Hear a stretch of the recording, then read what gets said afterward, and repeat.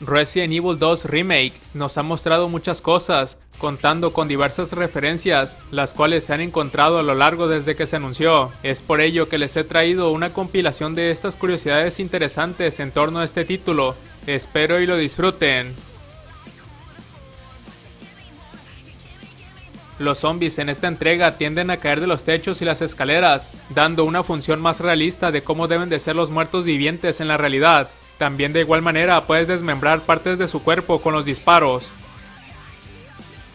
En la entrega de Tofu, el cuarto superviviente en el título clásico, este tendía a cambiar de color mientras era herido por los enemigos. En esta ocasión vemos cómo es consumido mordiscos por estos, mientras se abre paso en su escapatoria. En esta ocasión, cuando los Lickers te atacan, te dejarán marcas detalladas de ataque en el cuerpo. En algunos momentos durante la persecución del Mr. X, este hará a un lado los zombies, ya que los considera más como estorbos que como aliados.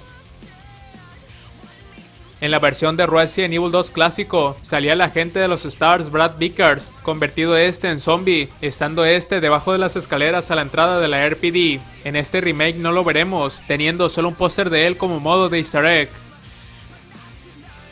Elsa Walker iba a ser la protagonista del Resident Evil 2 clásico, siendo esta cancelada en instancias avanzadas. A pesar de todo eso, en esta ocasión contaremos con su despectivo traje para Claire Redfield, a quien considero que le queda muy bien.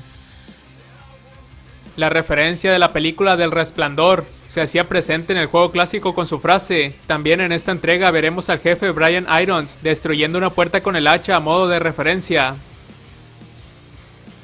Los maniquíes en Resident Evil 7 formaban parte del decorado tétrico de la mansión Baker, en los cuales sentías que te observaban. También forman parte del decorado de esta entrega. La fotografía que se señalaba como el supuesto novio de Jill en su escritorio, aquí fue reemplazado por la de su perro mascota. También en el clásico, vemos cómo Wesker tenía guardada una fotografía de Rebecca Chambers en su escritorio, en el cual revelando el rollo podremos encontrarla con su uniforme de básquetbol, desconociéndose los motivos de Wesker. El arma de Leon es llamada Matilda. Esta es una referencia a la película Leon de Professional, donde sus personajes protagonistas se llaman Leon y Matilda. En su coche también vemos el nombre de la joven. La tienda Wagomis que se encuentra en las calles es una referencia al escritor de la serie Mega Man de Capcom, Teruhiro Shimogawa, solo que esta se encuentra escrita al revés. El nombre de Sakura, personaje de Street Fighter, también aparece escrito al revés en un letrero. Frank West, protagonista de Dead Rising, también hace su aparición en uno de los pósters en las calles, pero aquí es llamado Frank East. Al desbloquear algunos candados, estos requieren unos códigos, siendo el de Cap como Capcom, DMC como Devil May Cry y SZF como Street Fighter Zero. En el 2015, uno de los productores de la entrega mandó su mensaje de We Do It, marcando su anuncio oficial. En algunas partes del juego vemos su mensaje mismo. Rita Phillips, oficial mujer de la RPD aparecida en Resident Evil Outbreak, también tiene su cameo con su nombre en un escritorio. La canción de Queen, Made in Heaven, está escrita en la chaqueta de Chris Redfield, la cual se encuentra al lado de su escritorio. También la vemos escrita en la ropa secundaria de Claire, estando esta en la figura decorativa en su espalda. La fotografía clásica de los Stars era una referencia que no podía faltar, encontrándose esta en la oficina del honorable capitán Albert Wesker y también en el cuarto de revelado. El nombre de los desarrolladores se puede encontrar en la estatua central del vestíbulo de la RPD.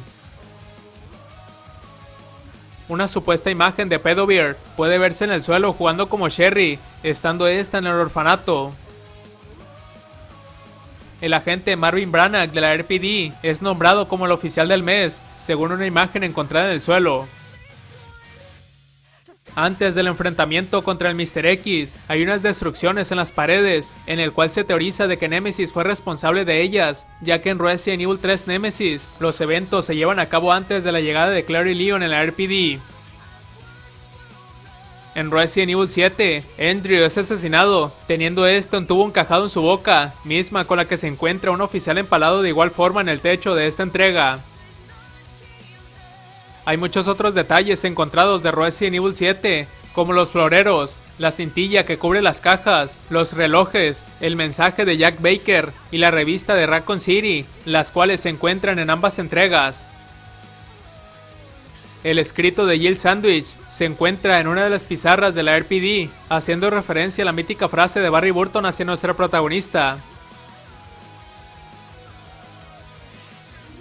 Y hasta aquí finalizamos con el video. Para ti, ¿cuáles fueron las curiosidades que más te llamaron la atención?